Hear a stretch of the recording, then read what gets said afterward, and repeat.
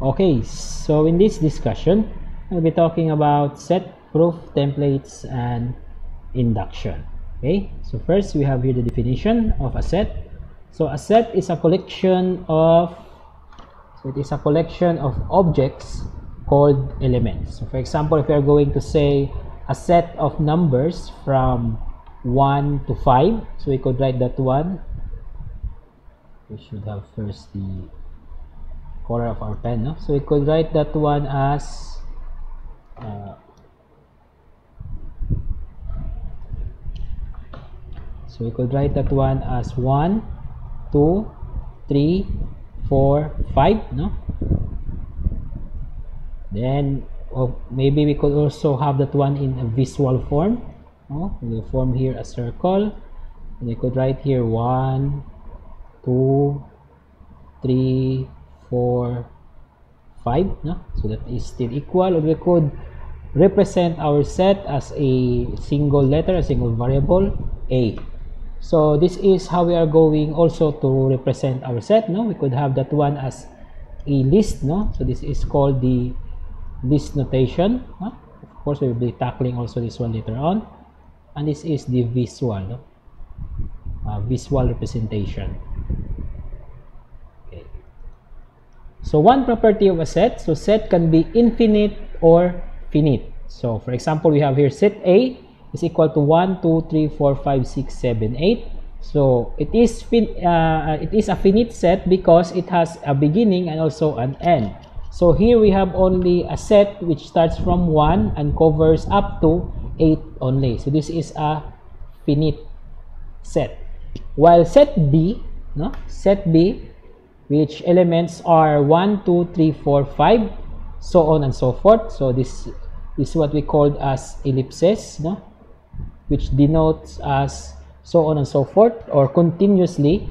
So this there is no end no for this for the elements of set B. So this set is what we called as infinite. Okay. So the rules, no? If you are going to list a set, so repeated elements are only listed once. So for example, we have here, we have a set, we have a set, so we have set 1, 2, 3, 3, 7, 7, 3. So as a rule, we only list elements once. No? So for example, for that one, we should uh, simplify our set as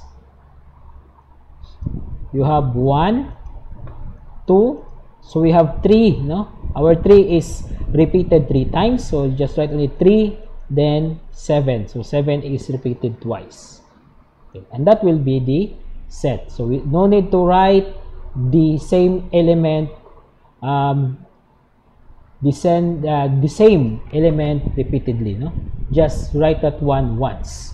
Then there is no order in a set. So what we call as order so we we could write our set in only in any order we want. So there is no standard order. So meaning uh, you could write that our set in ascending order, in descending order, or in random order. So for example, we have 9, 10, 11.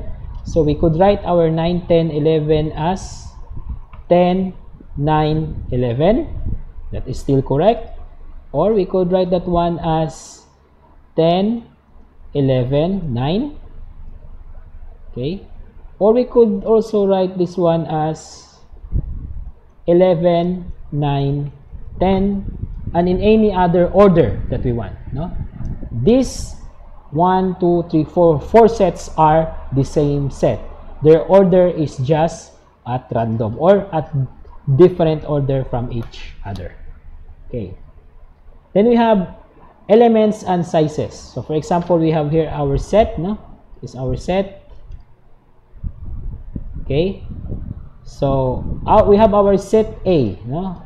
Our set A contains subjects no? We have math science and English. So of course there is this is a finite set because we only have three no? Three elements that is math science and English and it, and it is not followed by an ellipsis. So meaning this is a finite set. So math is an element of A. So how we are going to express that math is an element of A. So to express that one, so we just have that one in a notation, no? Notation. So we could say that math is an element of A. So this one denotes this is an element, no? Meaning an element. So this is known as an epsilon, no? small letter epsilon, a Greek letter, no? small letter Greek epsilon. No? Then PE is not an element of A. So how we are going to express that one? So first, to check if really PE is not an element of A, we need to go back to our set, no? Math, Science, English. And for this one, uh, PE is not listed on this set. So it is true that PE is not an element of A. So we could write that one as PE epsilon then slash no so meaning this this is not no not an element of A. So PE is not because we put the slash here that will denote as not an element of A. The next is the size of set A. So when we say the size, that is the number of element present inside the set. Now for this one, how many element? 1, 2, 3. So the size of set A, so that is denoted by this one. The size of set A, could also write that one as this one also. Okay. 1, ano, it's not uh, is math, science, and English. No, just continue that one here. Okay. The size of that one is equal to 3. Okay. So that is how we are going to know the elements and to denote that as an, uh, an element is an element of a certain set or not and how to get the size of a set. Okay, next we will go to special sets. No, we have here the notation for special sets. So we have first this notation. No, this notation it denotes the set of natural numbers. So what we what what do you mean by set of natural numbers? No, set of natural numbers are all um, are all non-negative, no? Non-negative non-negative numbers or non-negative integers, no? So we list that one. For example, uh, the set of the set of natural numbers is this one. No? We just first put our brace. No, this is a brace so we have 0, 1, 2, 3, 4, 5, 6, comma, so on and so, so forth. So that is the list of natural number or a set of natural numbers. So this is an infinite, no? infinite set because as we all know that uh, numbers has no finite size. No? So if you are going to go to uh, some other branches of mathematics, so the largest number accepted in math is infinity. So therefore, a set of natural numbers is infinite. No?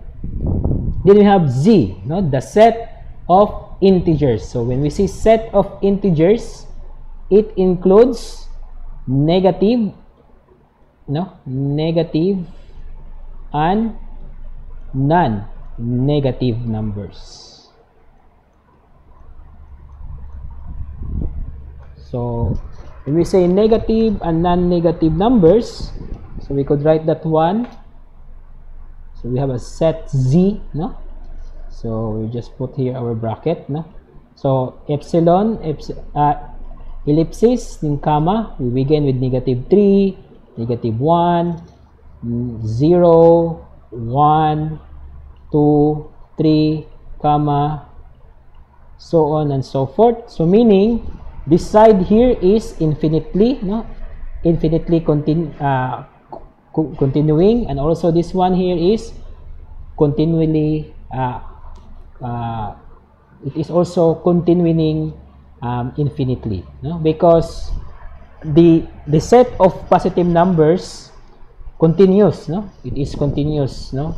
And the set of uh, negative number also continues infinitely okay?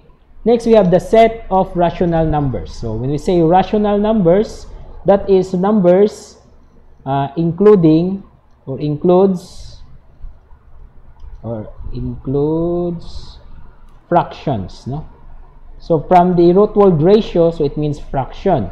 So for example if we have here this one so we could have that one as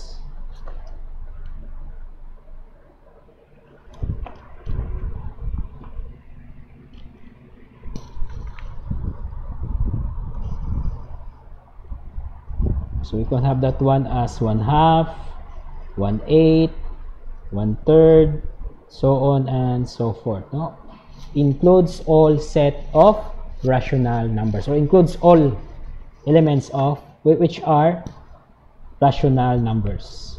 Then lastly we have the set of real numbers. So what do you mean by the set of real numbers? So the set of real numbers so it will include all numbers no? All continuous numbers no? All numbers with uh, with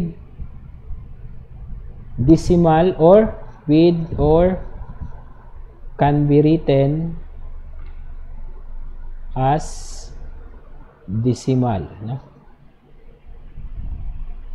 Decimal point no? So for example we have this one.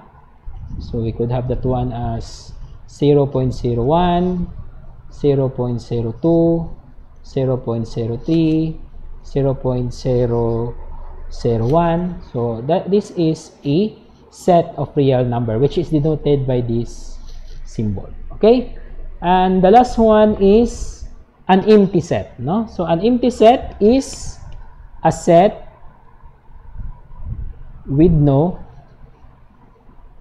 elements okay so how we are going to write an empty set or how we are going to make a list notation of an empty set. So we just do it like, like this one. Okay. Then we have we put our brace. Okay. Then we put again here another brace. Meaning this is an empty set. So if you were going to put here zero so because you say empty so empty means zero. So it, this notation here will not become an empty set because you have an element inside the brace which is 0 and an empty set has no elements. Also its size no?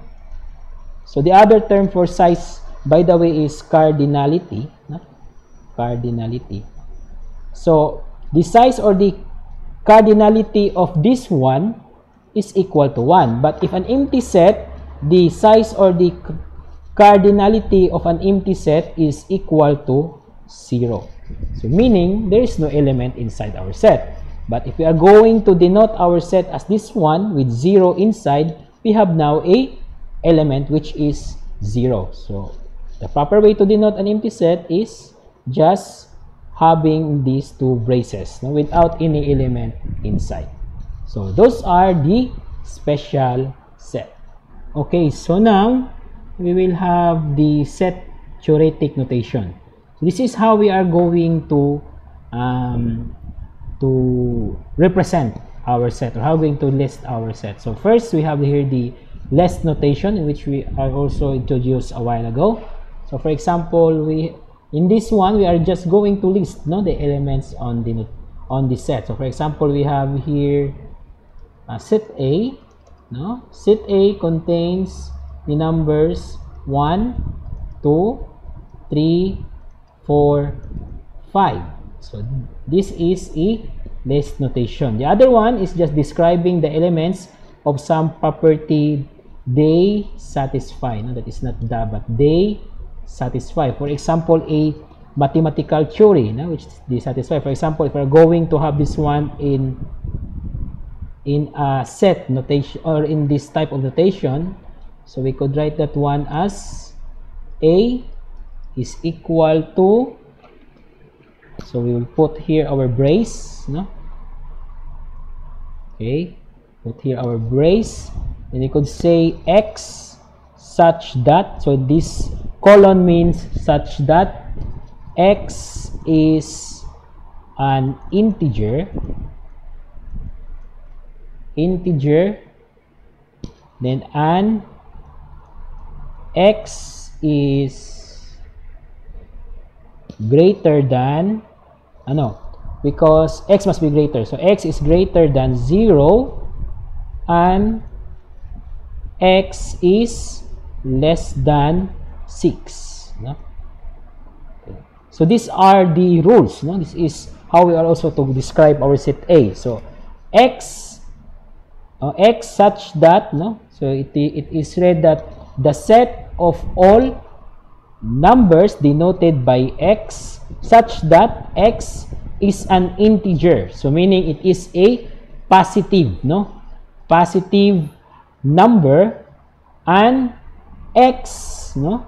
is greater than 0 meaning the first element must be equal to 1 and x is less than 6 so the last element will be 5 so this is the second uh, method or the second uh, way on um, describing our set okay then the third one is describe the elements as a set of elements in some other set that satisfy some proper some properties.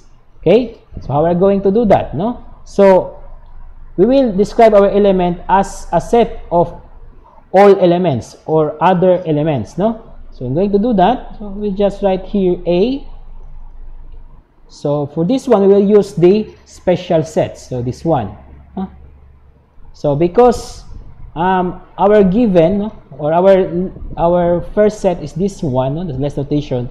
These are all natural numbers. So we'll use the set for natural numbers. So we could write that one as um, x is a set of natural numbers, no? Natural numbers. Write first correctly my natural number here. Okay. Natural number so, so such that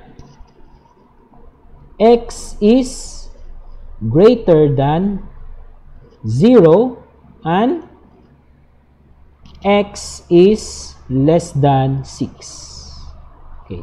So that is how we are going to describe also our set as a set of other elements. So this is the difference this one here no?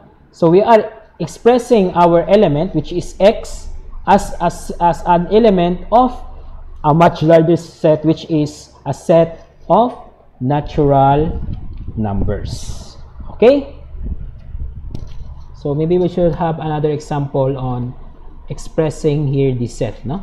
Expressing our set into different sets. Maybe we should have here an example no? Okay. So we just write first here our um, example no? Okay. Let x be the set of all students at a school. Let A be the set of students students who are first year? First year students. Okay. First year students. And C the set of students enrolled in discrete we should write first legibly the discrete here. Okay. discrete structures. One. Okay. Express in set theoretic notation. Take notation.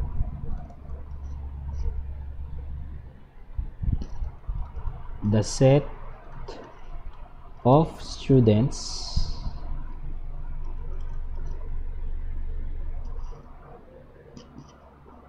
which are all